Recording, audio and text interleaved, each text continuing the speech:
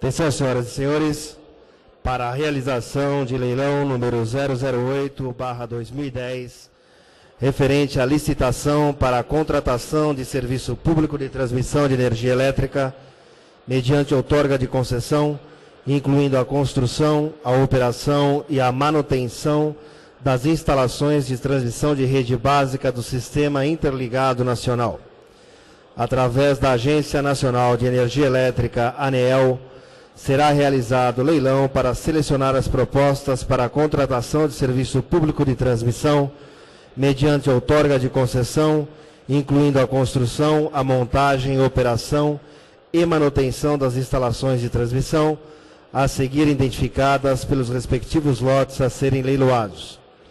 O leilão será dividido em oito lotes, cada um compreendendo uma outorga de concessão. Serão consideradas vencedoras do leilão as propostas que consignarem para cada lote individualmente a menor receita anual permitida para a prestação do serviço público de transmissão.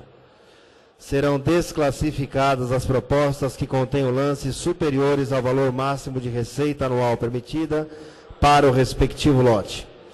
Os participantes do leilão deverão apresentar seus lances em envelope fechado, conforme descrito no edital, com as informações do lote e nome do proponente em seu lado externo. Será declarada vencedora a proponente que apresentar o lance de menor valor nos envelopes, desde que a diferença entre os dois melhores lances seja superior ao valor de corte, que é de 5%. Para determinar o valor de corte, multiplicarei o valor de menor proposta dos envelopes por 1,05, obtendo desta forma o valor de corte. Caso existam lances com valores inferiores ou iguais ao valor de corte, o leilão terá continuidade por lances sucessivos efetuados à viva voz para proponente que tenha apresentado o menor lance no envelope e aquelas cujas propostas apresentadas nos envelopes tenham sido inferiores ou iguais ao valor de corte. Anteriormente ao início do leilão à viva voz, informarei o valor do menor lance. A partir deste valor, as corretoras que estiverem participando do mesmo deverão apregoar novo preço inferior ao preço informado. Caso não sejam efetuados lances à viva voz, será declarada vencedora a proposta com o menor lance para a receita anual permitida contida nos envelopes.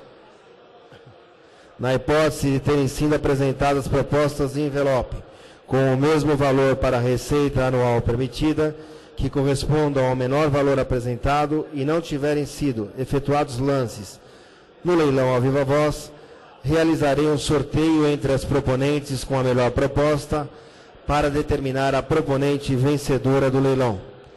Obedecendo-se a todas as fases anteriormente expostas, a vencedora será imediatamente declarada por mim. Imediatamente após o término do leilão, a proponente vencedora de cada lote deverá ratificar a sua proposta mediante assinatura de termo de ratificação de lance, contendo o lance vencedor.